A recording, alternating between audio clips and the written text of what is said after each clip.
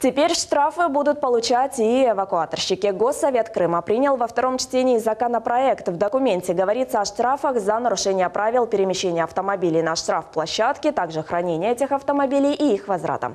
Теперь штраф за несоблюдение этих правил для должностных лиц составит от 5 до 10 тысяч рублей, а вот для самой организации от 10 до 20 тысяч рублей. В случае повторного нарушения указанных требований штраф увеличится вдвое. В пояснительной записке к закону отмечается, Отмечается, что прокуратура Симферополя установила многочисленные нарушения эвакуаторщиками закона. Например, в начале 2018 года в прокуратуру Симферополя поступило 6 обращений граждан. Организации, которые предоставляют услуги эвакуатора, неправильно составляли акты приема передачи, не указывали полную информацию о возврате машин.